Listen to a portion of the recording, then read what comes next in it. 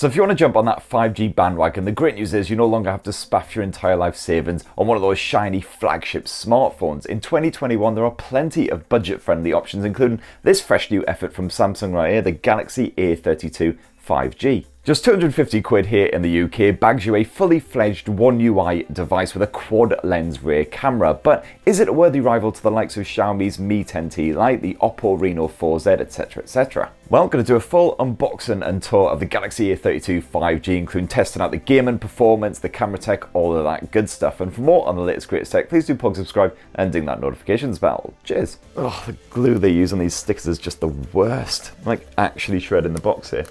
So what you get in here is one smartphone, of course, quick start guides, USB Type-C cable, still get an adapter, thankfully, with uh, hilarious pop-up action, and a porcupine device to get your SIM in there. And sadly, that's it. No condom case bundled in there to help protect your A32 5G, so you'll have to spunk up a little bit of extra cash for a cover if that's what you want. Anywho, that's the box. Now let's actually check out the phone itself. And first impressions are, I actually quite like uh, Samsung's design here on the Galaxy A32 5G. It is just a plastic back backing, so nothing particularly special or sexy, uh, but it's got an almost sort of glass vibe to it with that glossy finish. This here is the blue model, but you can also grab the A32 in violet, black, or white as well. Or actually, rather, it's uh, awesome blue, awesome violet, awesome black, or awesome white. Is it awesome? Well, it's definitely nice, but I guess that nice blue doesn't have quite as sexy a ring to it. And also, while a lot of smartphones these days have a separate sort of camera array to house all the lenses, here the lenses just actually poke straight out of that back end. Uh, so it certainly gives the A32 quite a distinctive look. Thankfully, the lenses don't poke too far out of the surface, uh, so you shouldn't have any problem using the A32 just lying flat on a desk.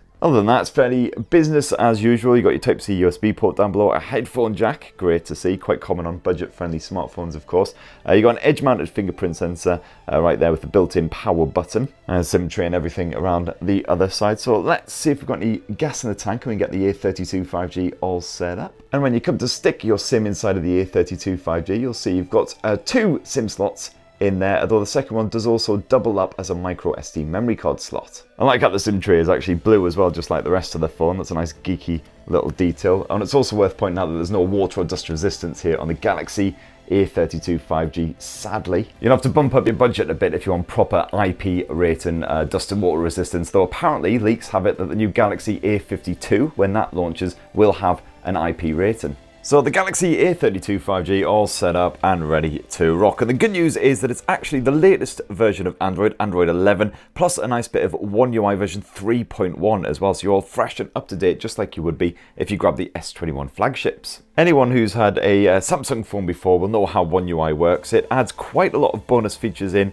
on top of Android. So for one, you've got much greater customization than you would with just with a stock Android smartphone, uh, including the likes of uh, custom themes, that you can set up and just to completely change the look and the feel of your desktops. You got lots of gesture control uh, thrown in there, including the very, very useful one-handed mode, uh, which is great if you've got tiny little stubby fingers and thumbs like I do. All you need to do is just swipe down the bottom edge of the display like so. As you can see, everything gets miniaturized, which just makes it so much easier uh, to use apps one-handed. Hello, you're to open up. There we go. And you still get some of Samsung's excellent Knox security features slapped here on the Galaxy A32 5G as well, just to help keep your private super private. Unfortunately, as with those S21 flagship smartphones, you also get a buttload of duplication here on the A32 5G as well, including two web browsers, you've got Samsung Pay on top of Google Pay, got the likes of SmartThings for controlling all of your smart home goodies as well. And it's absolutely fine if you, you know, you're fully on board with the Samsung ecosystem, but if you use the Android alternatives, then it's just extra clutter. All of the other features you would hope and expect to find on a smartphone around the £250 price point are present in correct likes of NFC,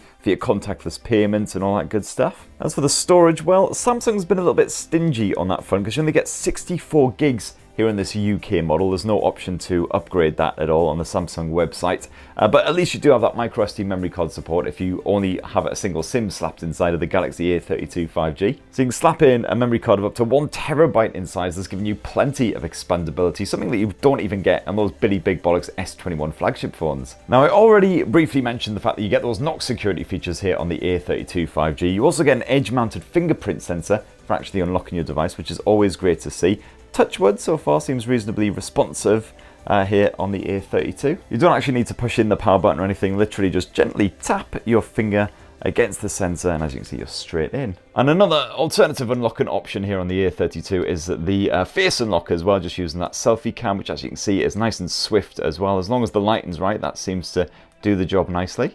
It's actually kind of almost nostalgic to see a nipple notch in 2021. Obviously, most smartphones, they uh, have a little cutout orifice thing for their selfie cams instead. Only intrudes ever so slightly on that 6.5 inch PLS display, which as you can see is surrounded by fairly thick bezels, especially down below here. So this is similar to IPS technology, so you can expect sort of slightly poppy colours, but nothing too eye gougingly vibrant or vivid like you would get from an OLED display. The top brightness levels aren't exactly eye-searing either, hopefully should be alright for a fairly sunny day. Viewing angles, again, fine if not great, but my main beef with the Samsung Galaxy A32's display is the fact that it's a 720p HD panel, not full HD, so you don't get the finer detail levels when you're, you know, browsing your photo collection or just enjoying a bit of Netflix or whatever. Although at least you do get Widevine L1 support, so that does mean you can stream HD quality content on the likes of Netflix. But considering that a lot of budget rivals, even those that are 50 to 100 pounds cheaper, now come with full HD visuals, it's a real shame that Samsung has stuck with 720p. And sadly, there's no 90Hz refresh rate option here on the A32 either. Again, a fairly common feature on budget smartphones now.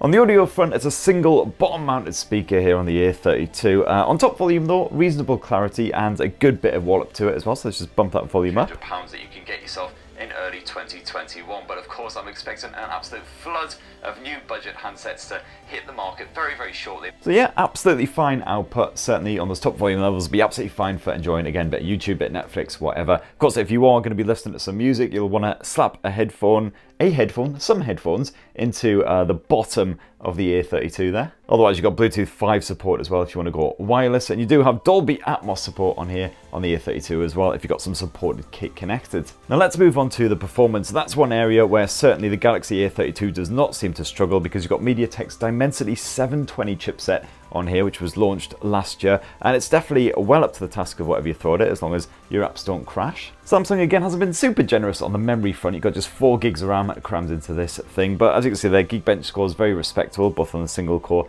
and the multi-core. And so far, after a few hours of play, I haven't noticed much in the way of, you know, judders or anything like that. Just a couple of random cases where an app has closed down. It who does not seem to struggle because you've got MediaTek. And of course, you've got that Samsung Game Launcher feature as well, uh, which just basically acts as a hub to access all of your games and gives you a few extra bonus features thrown in. Got a bit of notification blocking, and all that good stuff. So to test out the gaming chops of the Galaxy A32, I thought I would embarrass myself with a bit of Call of Duty Mobile, which as you can see there, tops off at medium graphic quality and high frame rate. And certainly, bugger all complaints from me as far as the gaming experience here on the Galaxy A32 goes. I uh, didn't see a single judder. It was a nice smooth performance the entire time I was gaming. The screen responsiveness is perfect for this kind of frantic run and gun gameplay. And either the school kids are taking a break today, otherwise they just really can't be buggered anymore because I was absolutely mowing down everything in my path. It was glorious. As for yonder battery, well it's a 5000 milliamp cell that is stuffed inside of the Galaxy A32, uh, so this should hopefully keep you going all day long, no worries, even with plenty of gaming, media streaming, camera play, all that good stuff. You've got the usual power saving modes and everything as well, and it's only 15 watt charging, but I guess fairly sort of standard for this sort of price point. And as always, let's finish up this unboxing and full tour of the Galaxy A32 5G with a squint at that camera tech. And what you get slapped on the back end here is a quad lens setup, and that's headed up here by a 48 megapixel primary sensor. And certainly from a quick play, there seems to be the standard sort of camera UI experience you get from the more mid-range to flagship style Galaxy devices. So for instance, you get Samsung's uh, AI Smart on here, the Scene Optimizer, which just helps to uh, pick out what you're trying to take a picture of. And it can throw up handy suggestions like, oh, you might want to use the night mode if, uh, you know, the light's a bit low. I've done a quick bit of testing with the Galaxy A32's camera and so far seems to be absolutely fine for everyday snaps as long as the lighting isn't too tricky. You get quite natural looking colours and respectable levels of detail too. And at any point, if you fancy more pulled back view of the action, well, you can swap to that 8 megapixel ultra wide angle lens that seems to cope a little bit less well with uh, trickier lighter conditions, but certainly offers up a very different viewpoint, should be quite good for those dramatic action shots. You've also got a 2 megapixel depth sensor slapped on the back of the Galaxy A32 for your portrait shots. I'm not sure why it's portrait here and not live focus as Samsung delights in calling it. This adds a nice bokeh style effect in the background, really helps your subject to stand out and you can also change the intensity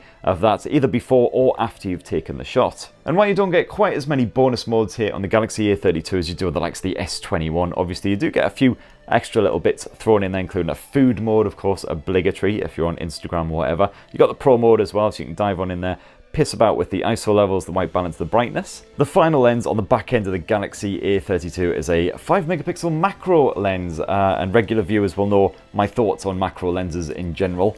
Um, see, yeah. And then as mentioned before, you've got that night mode for when lights are a bit low, a bit more ambient. Uh, you can still get a nice sort of bright, fairly balanced shot. And of course, Samsung usually does pretty well on the video front as well. If you dive on into the video mode, as you can see there, you can shoot at full HD at 30 frames per second. Otherwise, you can bump it up to Ultra HD at 30 FPS. And last up, you also have an 8 megapixel selfie snapper up front in a ye old nipple notch. And this should be absolutely fine again for your everyday Instagram shenanigans and all that good stuff. Seems to do a reasonable job, even in quite bright conditions. And you can have that pulled out view, which makes obviously a massive dramatic difference. And let's just completely ignore slash delete the one that I just took right there and switch to one that I did Blue Peter style uh, earlier. It's quite a bright sunny day outside. I do look a little bit sort of smooth, a little bit too clean. Some of those wrinkles have been ironed over even though I've got the beauty mode active. You do have a portrait mode that you can get on the go as well, which produces really nice bokeh style blurring again. And if you fancy yourself as a bit of a vlogger, you can shoot full HD 30 FPS video with that front facing shooter too. And there you have it, that's my full unboxing and tour of Samsung's Galaxy A32 5G, which you can grab from Samsung UK right now for 250 quid. And at the time I shot this video, I actually got a free pair of Samsung Galaxy Buds uh, bundled in there with this bad boy as well. I gotta say, I was surprised to see the specs were so similar to the Galaxy A12, which is an even more budget-friendly Samsung phone that was just launched. Uh, 160 quid here in the UK. I've done a full unboxing of that as well, which should be going live uh, tomorrow with any luck. And the main difference between those two handsets being the fact you've got that Dimensity 720 packed here in the A32, which smooths over the rough performance of the A12. Definitely well worth the upgrade just for that. And of course, you've got that 5G future-proofing too. Yeah, it's great to see the latest, freshest Android and One UI uh, launcher slapped on here here as well. The overall user experience is absolutely fine. I'm quite enjoying using the camera and stuff as well. So it certainly seems to be a respectable uh, smartphone for around that 250 quid. It's just a shame that it's a 720p display. And there's a couple of other areas like the memory and the storage where Samsung hasn't exactly been super generous. But anyway, that's my thoughts. If you want to check out my roundup of the best budget 5G smartphones you can buy right now in 2021, that is live, so go check that out. I've also reviewed basically all of the budget smartphones I could get my hands on around the 200 to 300 pound price point. So go check those out too. And let me know what you think of this bad boy down in the comments below. It'd be great to hear your own thoughts. Please do poke subscribe, ding that notifications bell, all that YouTube shenanigans. And now I need to go have a lie down. Thanks very much, everyone. Love you.